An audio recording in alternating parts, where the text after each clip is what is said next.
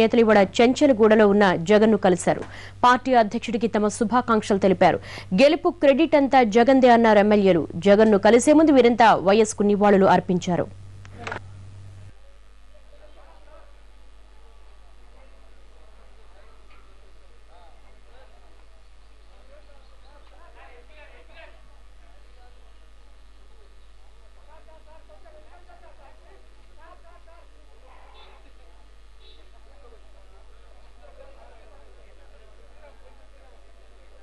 జగన్మోహన్ రెడ్డి గారిని ఈ రోజున ఈ రకంగా అన్యాయంగా అక్రమంగా అరెస్టు చేయటం అన్నది ప్రజలందరూ కూడా తీవ్రంగా నిరసిస్తున్నారని నిన్నటి ప్రజా తీర్పుతో తేలిపోయింది.